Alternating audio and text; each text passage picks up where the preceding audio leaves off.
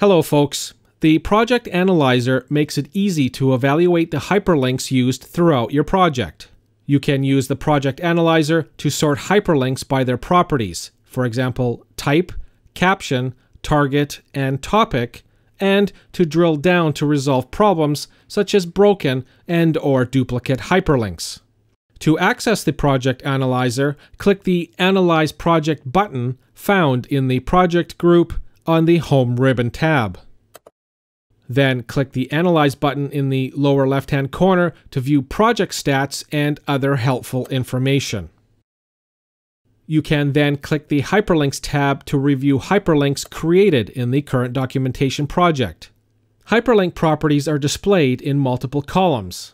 Kind displays the type of the hyperlink. Caption contains the words that readers click to activate the hyperlink. Action displays the location readers are taken to when they click the hyperlink.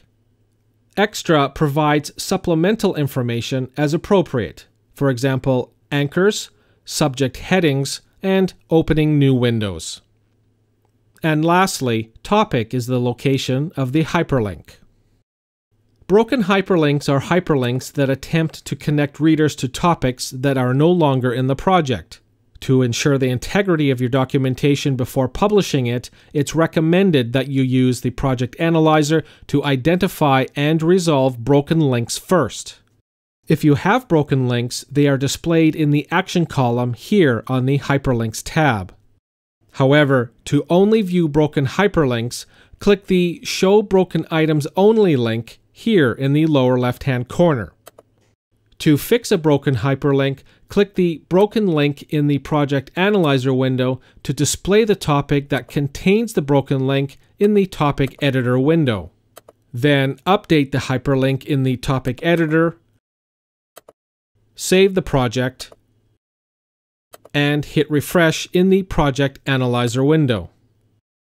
The Project Analyzer provides for an amazing tool in making sure your documentation projects don't contain any errors, such as broken hyperlinks. It provides an easy way to review all hyperlinks, locate, and fix the problematic ones. HelpNDoc Doc is free for personal use and evaluation purposes. You can download it at helpndoc.com and see other video guides at helpndoc.com slash online dash help. Thanks for watching.